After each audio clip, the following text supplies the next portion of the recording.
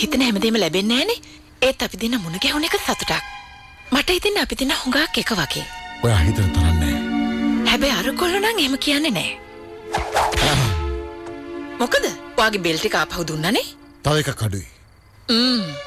ඔයා ගෑන් ළමයිගේ හිතරිත් දන්න හොන්තර දන්නවා.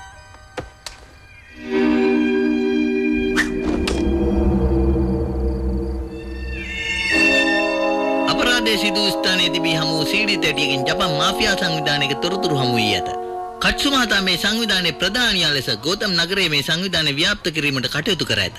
ඔබලාට මේ සංවිධානය ගැන මොනවද කියන්න තියෙන්නේ? කලබල වෙන්න දෙයක් නෑ ගෝතම් පොලිසිය මේ වනකොටත් මේ කල්ලි අනිත් සමාජිකයන්ව ලුහු බඳිනවා. හොඳයි. බැට්මෑන් සහ කැට්මන් අතර කිට්ටු සම්බන්ධතාවයක් තියෙනයි කියලා කියනවා. ඒ ගැන ඔබට මොනවද කියන්න තියෙන්නේ?